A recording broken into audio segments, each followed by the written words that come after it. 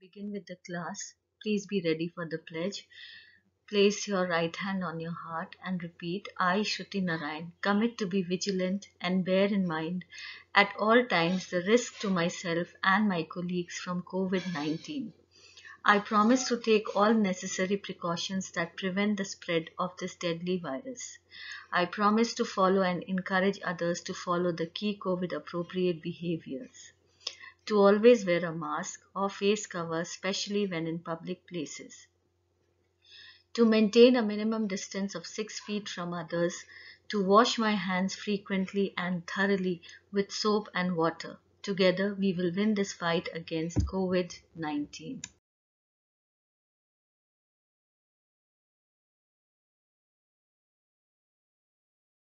We continue with the chapter of insolation brief recap of what we had studied, we had studied about the factors affecting the temperature of a place. And we had done only three factors, though there are more. We had studied about latitude, altitude, and distance from the sea. So, for latitude, I had told all of you that higher the latitude, lower the temperature because of the spherical shape of the earth. As we move towards the poles, the rays become more and more slanting. So the torrid zone has a higher temperature, whereas as we move towards the frigid zone, the temperature becomes low owing to the slanting rays of the sun. The second factor we studied about was altitude. Higher the altitude, lower the temperature. And the third factor was distance from the sea. Places close to the sea have a moderate or maritime type of climate because of the moderating influence of the land and the sea breeze, whereas places far away from the sea have continental type of climate because they are far away from the moderating influence of the sea. Now today we will be studying about the remaining factors. Okay, so the next factor is the slope of the land. The relief features also have a very important influence on the temperature of a place and the slope of the land also influences the temperature on a great to a great extent. So an area with steep slope has more rapid change in temperature than a gentle one. And we'll study about this effect in terms of the alignment. So, mountain ranges which have an east-west alignment, they play a very important role in influencing the temperature of a place, especially in the middle latitude. So here in this slide you can see there are two mountain features, one in the northern hemisphere, one in the southern hemisphere. So if you visualize in the northern hemisphere, the south facing slope they have more direct rays of the sun so they have a higher temperature. Whereas the north facing slopes they have a lower temperature because they are sheltered and receive slanting rays. In the southern hemisphere the north facing slopes are much more warmer and the south facing slopes are cooler. Now let me repeat what i said. So again we have the mountains which are aligned in east-west direction in the northern hemisphere.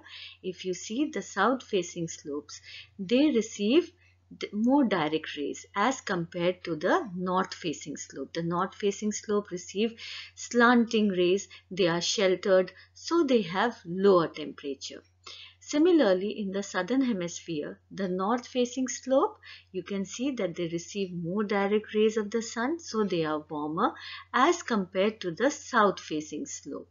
So, this is how the slope of the land influences the temperature. Now children, a very interesting phenomena about which we will study is called the inversion of temperature. We have studied that normally the temperature decreases with height at a rate of 1 degree centigrade for every 166 meters increase in height. However, in some areas and during certain times, the temperature increases with height in the atmosphere. So this phenomena of increase in temperature with the increase in height is called the inversion of temperature. This happens in hollows and valleys on clear calm nights when the radiation has caused cooling and the cold air starts to sink down. So what happens is this condition generally occurs during the winter season over land masses. During the long winter nights, the land masses lose heat by radiation and temperature decreases rapidly. In mountainous regions, the cold air sinks down to the valleys because it is much more denser and because of its greater weight. weight. So the upper air upper layer of the air retains its warmth. Therefore, temperature increases with height. So as you can see in this picture, along the valley slopes, the cold air, because it is much more heavier, it starts to sink down. And the warmer air, it rises up. So that is why what happens is that temperature increases with increase in height. So generally what happens is because temperature inversion is common in the middle latitudes. Therefore, the fruit growers in these regions prefer the gentle slopes rather than valley bottoms for orchards. So they, they plant the fruit trees on the valley slopes which are comparatively warmer than in the valley bottoms during the winter season. The ocean currents transfer heat from lower latitudes to the higher latitudes. The temperature of the coastal areas is affected by the ocean current that washes it. A cold ocean current has a cooling effect. We have already studied about it. And the warm ocean current, on the other hand, has a warming effect. Now children, if you remember in the chapter of hydrosphere, we had studied that the wind which blows over the warm ocean current, it also becomes warm. So it has a warming effect on the coastal areas. That is why the Gulf Stream, which is a warm ocean current, it has a warming effect. On the other hand, the cold California current, it lowers the temperature. So because the wind that blows over the cold ocean current, that also becomes cold and so it lowers the temperature of the coastal areas.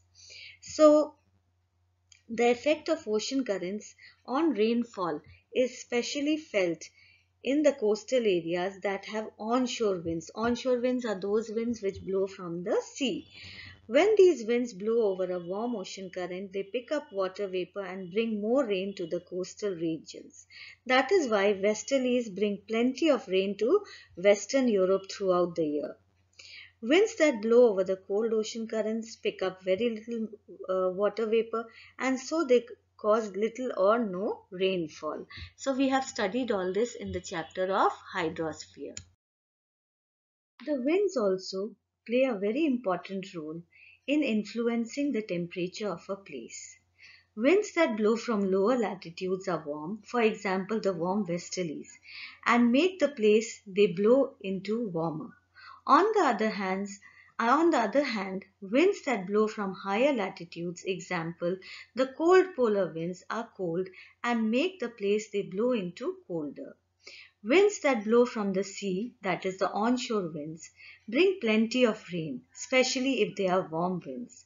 Offshore winds, for those winds that blow from, from the land towards the sea, they hardly bring any rainfall. So children, the winds also play a very important role in influencing the temperature of a place. And you yourself must have seen the local winds, for example, Loo, which blows during uh, the months of uh, May, they greatly increase the temperature of a place. So Loo it is an example of a hot dry wind which blows over parts of UP during the summer season. And exposure to such hot winds may cause sunstroke also. Every year children we experience this, right? So you must have understood how the winds influence the temperature of a place. Another very important factor that you should know is the clouds. The clouds also play a very important role in influencing the temperature of a place. Now, during the daytime the clouds if there it's a cloudy day you must have seen that the, especially during the summer season that if it is a cloudy day that day the temperature is slightly lower we feel some relief so the clouds prevent insolation from reaching the earth's surface now clear skies permit insolation rapidly during the daytime and they allow the rapid escape of terrestrial radiation during the night so that is why in the desert areas we find that the daily range of temperature is very high in the hot deserts because of the lack of cloud cover. Now children, there are two reasons as to why the deserts are cold at night. The first reason being the absence of clouds. During the daytime, because there are no clouds, so there is rapid insolation. The sand also gets rapidly heated. Now during the night time, because again because of the lack of cloud cover there is rapid loss of heat by terrestrial radiation. So there's a fall in temperature during the night time. And another thing is that the sand also loses heat very fast. So the two factors the lack of cloud cover and the presence of sand play a very important role in influencing the temperature of the hot deserts. That is why uh, a daily range of 20 degrees centigrade or more is common in the desert areas.